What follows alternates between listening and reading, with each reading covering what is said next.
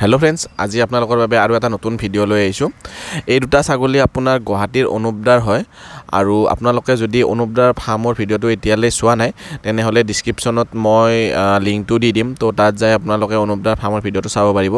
আৰু অনুপদাই গুৱাহাটীত আপোনাৰ বিল্ডিঙৰ ওপৰত ছাগলী পালন কৰি আছে উন্নত জাতৰ তো আপোনালোকে যদি এতিয়ালৈ ভিডিঅ'টো চোৱা নাই তো আপোনালোকে ভিডিঅ'টো চাব পাৰিব ডিছক্ৰিপশ্যনত লিংক দিয়া থাকিব।